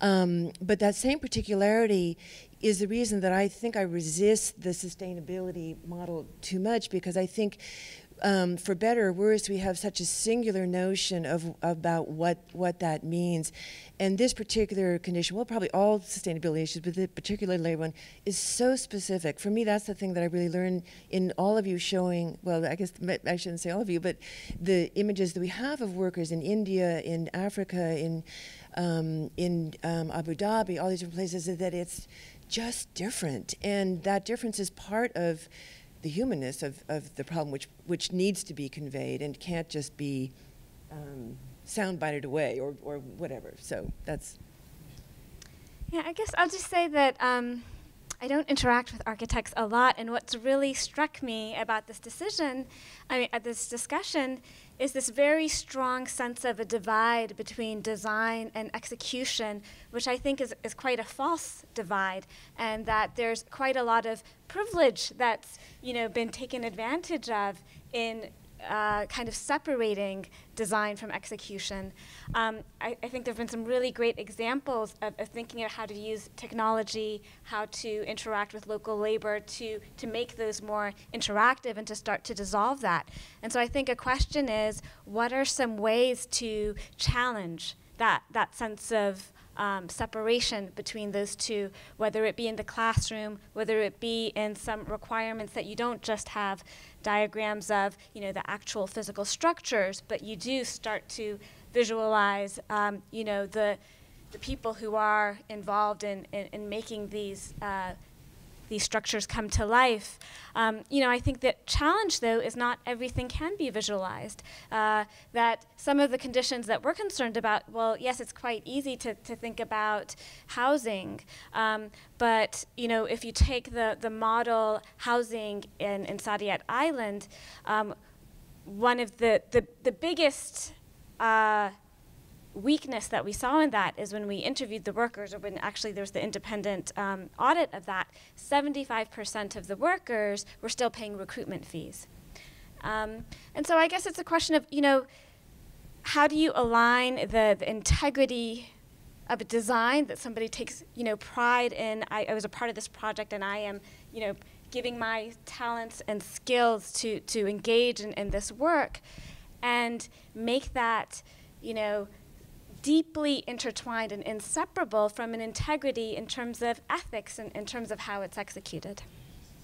I mean, just to, um, and this was, of course, contrary to what everyone had been saying there. That, in fact, at least in this case with the Workers' Construction Village in Abu Dhabi, uh, Abu Dhabi had done its internal monitoring, the TDIC, the Tourism Development Corporation, and at one point issued a report saying that they found a small percentage of the workers had paid recruitment fees and only at the insistence of various groups. And I mean, one of the important things that Gulf Labor has pushed for is the hiring of an international monitor to monitor existing labor policies.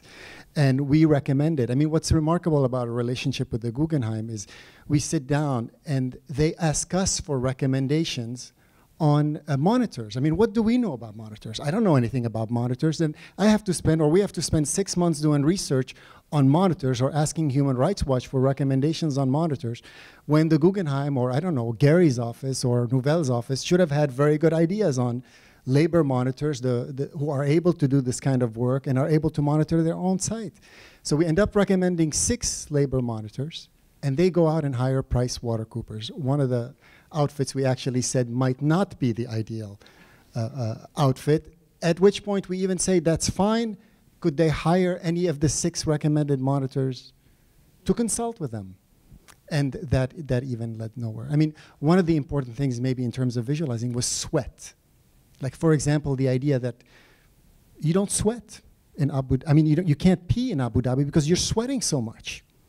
So how do you do that? How do how do you image that? The idea that you're not, you can't pee because the water is just being drained out of your body, and that you're supposed to stop working at 50 degrees Celsius. Well, lo and behold, the temperature is 49.5 degrees, 300 days of the year, or at, it's a, a, number that is unbelievable. Uh, yeah. Um, hang on. Hmm. Yeah, no, I mean, if you kind of extrapolate, let's say, and and it's kind of what I'm getting at a little bit by asking, okay, what happens when the client says no or something like that, that there one has to assume, I, I think, kind of structurally, that there are what used to be called contradictions built into this whole, um, you know, fiasco. Um, that have to be, uh, you know, they can be named differently, they can be framed differently, but at some level they ought to be probably articulated. Um, and uh, and I'm you know personally at least interested in uh, seek, looking looking to tease these things out just a little bit uh, for practical reasons, not not for as it were intellectual reasons as much as for uh, leverage. Uh, so one of them would be, what does power want here? The question, that, you know, because that's what you're basically describing. You're describing the way we know that power works. Power works by saying yes, you know, not by necessarily saying no. And and so, what does one say when you could flip it around. What does one say when the client says yes, when you know that what they're actually saying is no, or the government or whomever? I mean, just you know, to, just to sharpen the contradiction. I mean, I can only speak for what was happening on our site relative to at least during the construction stages where I saw things that I felt that the client should know. And so I would speak to the client openly about concerns that I would have, but not documenting, but I would try and at least enlighten the client to somehow either make himself aware of it or to uh, go out himself or some other form.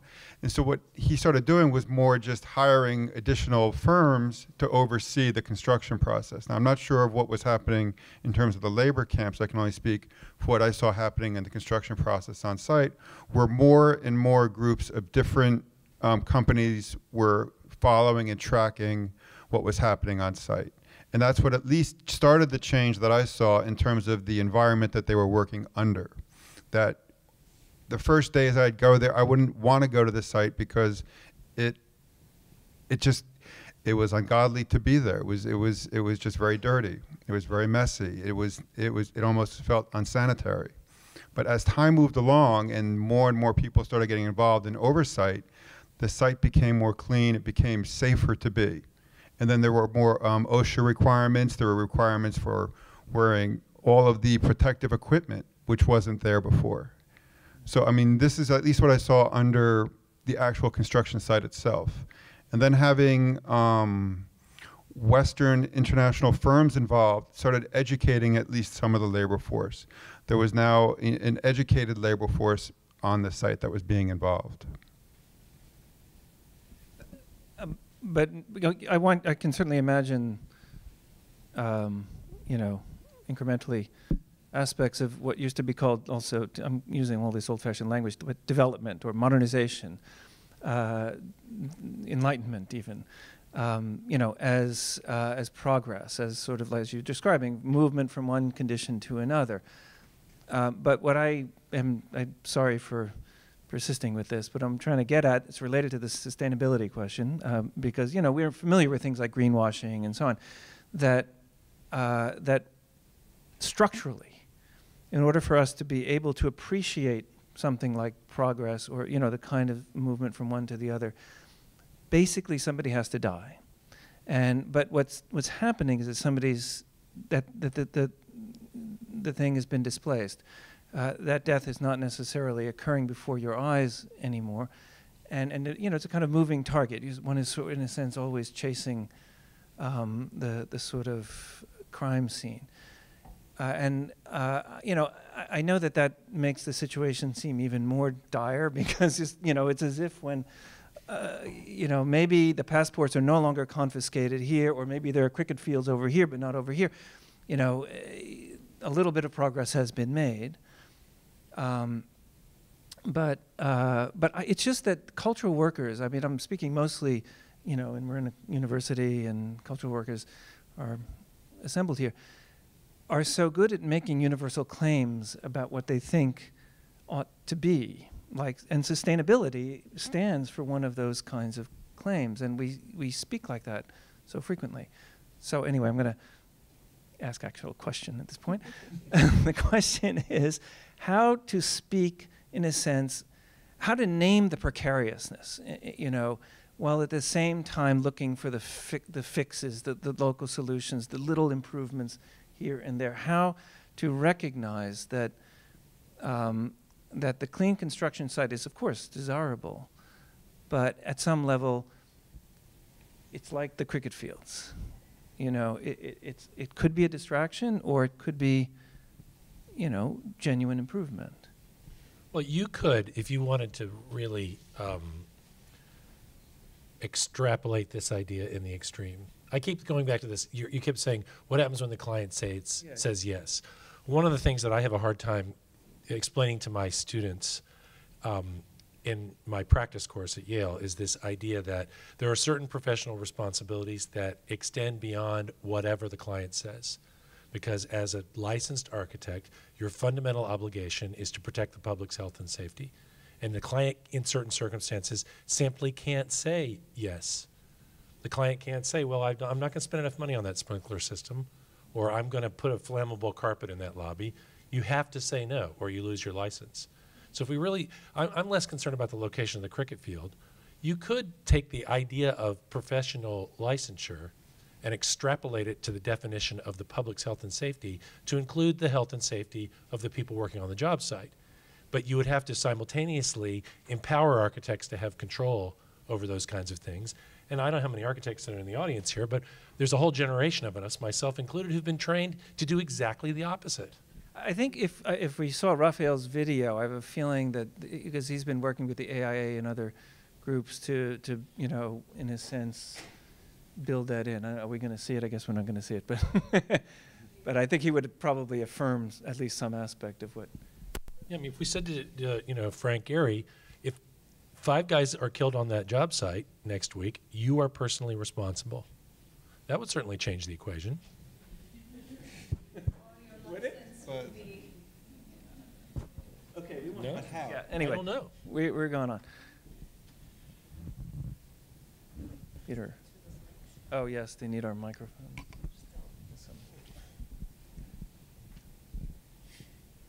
Um, I'm not, maybe there's a maverick function here. This might be useful. Uh, I, I did some work in the Middle East, and um, I had, um, I was an artist, and I had very good relations with the workers, these Pakistanis or people in labor camps and who had their passports taken and so on. And in every case, well, in some cases it was quite successful. They actually did things with me that they volunteered to do, and they liked doing it, but it was in their off time and, and actually near the labor camp and we talked and all that. But in other cases, it was uh, where we would try to do something at the job site or the show site, and then it was prohibited by the client. And so I, I, I feel that after all the things you've been talking about, and I think there's an exception with uh, what's happening in Africa there, the client is the problem. The client, whether it's some rather Tokyo Metropolitan Government or some other entity like, say, um, Sharjah, the Sharjah Biennial, they are uh, very rigid in their idea that uh, the artist is here, the worker is there, uh, the architect is there, and they all have their particular. They cannot talk to each other, and um, it would be, I think, very important to almost make a demand up front to the client, like what you were saying there before. Um, actually, the client is responsible for the deaths on the job site, and the, the client is now going to have to really, and the client is also resp- responsible for, responsible for some kind of way of having the workers be human. Uh, whether it means having an artist around just to do some tingling and then the workers like it and they talk about it, whatever. But I, I had a number of really quite almost miraculous experiences with workers where they really came to life and really liked the model, really wanted to do something and actually volunteered to do things way beyond the normal idea that uh, you're the Westerner, they're the client, they're the worker. And so I guess the question really is how can, also in terms of human rights, one come to a client and say, first of all, we got to have an understanding that workers are human beings.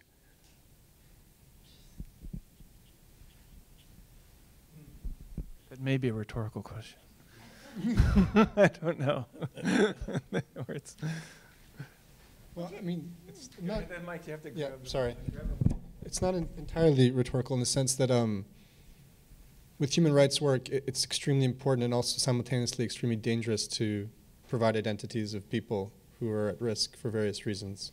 You know, you, we're working on a case with drone strikes, civilian casualties in drone strikes, and it's this paradox of the only way that that um, analysis is going to actually register with people is to, is to show that real, real people suffered real injuries, right? At the same time, all their faces are redacted. So uh, I imagine that there's uh, uh, people, laborers are at risk. Their ident- you know, their their ability to kind of speak up is uh, compromised in these situations as well. Sorry. Right, but he's saying that that in more broadly they're risking something potentially, even if they don't acknowledge it. No. Anyway, yeah. There should be programs with the client on site for two weeks so they can have the same conditions as the workers. I, I just, um, our, the, the group we were working with had some success in um, behavior-based um, safety training um, as a way in which to get to some of the concerns of worker safety, health, and all the rest. And it became a mechanism whereby compliance for other parties ended up becoming the mechanism by which organizations for workers can take one little box on the compliance checklist and use it as a means for getting a lot of other things under. So, in terms of strategizing, it actually allowed a lot of things that would not have been called behavior based safety training to get on the list. But taking a, leaf out of the, the stories of other sectors can be very useful. I mean, I know construction is quite unique, and architects, of course, have very particular kinds of problems to face. But in the apparel industry, in uh, shoe manufacture, all the rest, there have been third party auditing and, and trademarking safety checkboxes that have gone through, and they have actually built out into very wide based coalitions. And uh, even when the client said no, or client said yes, depending on the definition. Just because I have it while we're passing this, but I it, it does seem to me that one could think about if one's using the sustainability model, the grading of, of a of a of a client of, of an owner that, that they really are uh, ways of indicating who who builds well, and that's part of their reputation, and that's part of approach. exactly right in in the opposite direction. Um, but um, but that then goes to um, who's going to finance it, what what kind of corporations support it, where you where you're going to put your stocks and bonds. I mean that that that grading can actually be influential um, financially, have implications. Um, yes, uh, thank you so much for your uh, panel today. Today we've heard so many different, you know, uh, opinions. So the the fault is with the client. The fault is with architects who don't think about the whole process. The fault is somewhere there. You know, some people just blame workers. So, but uh, actually working as part of the TC Lab studio, we've talked to many different professionals from from actually different points in supply chain, and most of the people do have um, sympathy and desire to help the workers to to help this to create this ecosystem for everybody, but it seems that the incentives are not aligned everywhere. This, all these points, and I would like to know your opinion. First of all, like as architects there and other professions, how do you think? How do you put those incentives together, and where should it come from?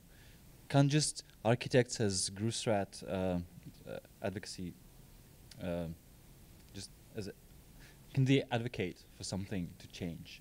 Do they have to wait for the government to come in and create a policy for them to to abide for? Should it be in a tender, some kind of system? Where do you think would it come from to actually change this and not just point fingers and say the blame is there somewhere? Thank Well, you. I'll, tell you, the, the building industry is famously terrible at self-regulating. It's there. Are, there are very few mechanisms for the industry outside of governmental mechanisms to create those kinds of structural incentives, because the delivery mechanisms and the and the business models are so disaggregated that there are very very few aligning forces. So we all may have desires to do the sorts of things that you're talking about, but there are very few large-scale ideas out there besides government regulation, like we're going to shut your job down after the second guy gets killed, um, that uh, that create those aligning forces. They just don't exist. Uh, the only the other way I see it is just maybe the getting the workers to empower themselves by getting a trade, which I think is something that you're developing very well in Nairobi and in Africa in terms of actually giving them the ability to build. And in some ways, that's also what happens if you can have a uh, a, uh, a fabricator can locate within this region and start to engage and also educate and provide skills to these unskilled laborers. That gives them a power then, because they really need to be empowered. And right now, they're not empowered, and so they get used. How about unions?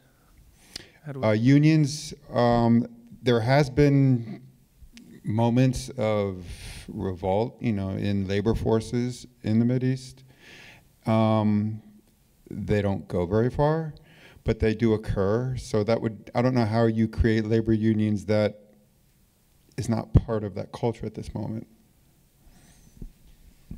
I mean, you know, we actually brought this up in our February discussion. Um, the press You know, and it, you know, we look at what what happened to Apple about a year ago and the impact. You know, one of the strongest companies in the world uh, was called out. There are a lot of architects that need to be called out, and you know, if, if there's no excuse for us not to be looking beyond our our computers in terms of how things are being implemented, and um, you know, that's I would just say that's the very New York way too. Um, um, and until Shame and shame. yeah, and I, you know, all you have to do is go to some of the lectures, and you see what what's discussed. Ideas, concepts, theory. But does that ever translate to you know the theory of you know the the labor force in terms of how you move that forward? I mean, we're in the 21st century. Yeah, we have put someone on the moon, but that that's even dated now. But you know, how come we have not been able to move that forward? We're still building the way we were building, you know, post World War II. So, you know, again, when you start seeing the academy respond to it, and in some degree, a lot of the universities that are in this room are responding to it in terms of the way to teach, students technology, uh, the kind of seminars. But at the end of the day, until that translates into the architecture profession where we're forced to take responsibility, and I say the press is a big influence here, um, we're going to constantly hide behind, you know, liability and contracts. So, and I would speak also for the institutions themselves, whether it's NYU or the Guggenheim or Museum of Modern Art, you know, there's a responsibility they have to, take as well. And again, the press has a huge influence there. So social media. So again, you know, grassroots, but you know, when questions start being asked, things start, you know, being uh, challenged on the public forum. Uh, there is a reaction. Um, Eventually, Diana will get. oh, I'm, so, I'm sorry. No, no. Oh, um, so I have a question um, uh, related back to uh, the relationship between human rights and sustainability, or labor conditions and sustainability. And one of the things that uh, um, really made me think about this is when you, uh, sorry, the you were talking about the redaction of the faces um, for the drone strikes. And um, one of the things that I uh, I was really thinking about was that in uh, is that we have this sort of unique opportunity at this point, like at you know uh, most of us in the United States. Again, there, there's purchase with the green, uh, uh, with in uh, sort of sustainability. Um, we're, the real opportunity is uh, here um, that labor conditions and saving the earth are, are not at odds. Like these are not um, imperatives that are at odds. So the responsibility to sort of represent human beings is no longer um, is no longer the only represent representational opportunity. Like we we feel it, we experience it in sort of the in climate change, and I and I wonder then um, I don't know. I guess I don't know if this is a question, but like the trauma of of, of losing our very environment, um, sort of. Uh, I mean, forges a new relationship to sort of human rights uh, in in in a way. I mean, I don't know if this is making complete sense, but Is it something like, because I, I don't know if this is the obverse of what you're saying, or, but climate change has been actually very difficult to discuss because you can't quite see it in the classic sense. And it is exper- like, I mean, really, it is the model for the, you know, so-called risk society and so on, that, that, it, that it's exactly the abstraction. It, it, this is actually basically what happened in, in critical discourse, that, that the, the old language about abstraction that used to be applied to labor has been moved on to the climate. Um, uh, you can't see it, it's abstract, and therefore even the new, you know, whatever, a few uh, weather pattern kind of models and so on isn't going to convince anybody. So, and certainly, I mean, Peggy mentioned this at the very beginning, but it, it does seem to me to correlate. As I said, I don't know if this is exactly what you're saying, but yeah. that what we're actually talking about, the, the precariousness that we're actually talking about, is structurally invisible in some sense. But it is the same Yeah. precariousness. yeah, yeah, exactly, right, right. Exactly. It, they're related. It I mean, just to add one more historical note, I mean, one of the things that I was thinking about when Philip was uh, talking was actually Ruskin, just because for him it was so easy to represent the labor of man, right? It was in the Gothic stone, the, the independent, you know, it was in the independent carving of each man, that, and its personality was expressed through that.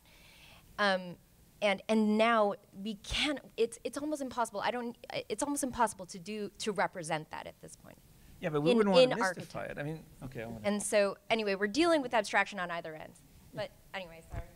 I just want to say one tiny thing. We In some way, it um, complicates what you're saying, but one of the things that um, came up when we had the discussion in February at the Architecture League was was the fact that um, for um, uh, the environment, one could actually see the polar bear on that little Yes, body of, course, ice yes. disappearing. And so that, that is something that we always like, Yes. boom, that's We representable. empathize, yes. And what is the corresponding thing around um, indentured labor that would be the same thing? It would be really, really helpful if we could figure out what, what that was. And, uh, so, anyway. But Phil, yeah, I think Anyway, you. there- there's a- Um, a quick question. Um, just um, love your thoughts and feedback on this. Um, in um, doing some work in the Middle East, one of the things that we heard often from several of the rulers there was that all the all the quote unquote indentured labor that comes into the Middle East wasn't forced to come there. They came there of their own free will, and they can leave if they don't like it. Uh, that actually was in the press, uh, not just in one country, but in a few countries. So, how do you actually respond to that when it comes from, uh, you know, all the way from the top? Well, I mean, I'd say that the top is probably the least likely to know the reality on the ground. And, uh, you know, having independent verification, talking to workers themselves, um, there is widespread documentation, not just from Human Rights Watch, but from many groups, um, including groups um, in the home countries of these workers, um, that it's, it's just extremely well established that many of these workers um, aren't given accurate uh, information about their jobs, uh, that they are not free to leave. And so it's maybe confronting, uh, you know, when, when people make these claims, it, it's confronting them with, with the information and the documentation that, that disputes that. Just one, one more thing in terms of well, there's the issue of also the recruitment fees that was just so crucial in at least in our uh, conversation. That's right. You're taking uh, uh, two to three thousand dollars that most of the time is being borrowed or is being uh, taken as a loan. That essentially is what you'll make, or if you're able to save that in a year or two, you're a lucky person. So essentially, you have this debt sitting on your head as you're trying to work off uh, getting paid a fraction of what you thought you were going to get paid.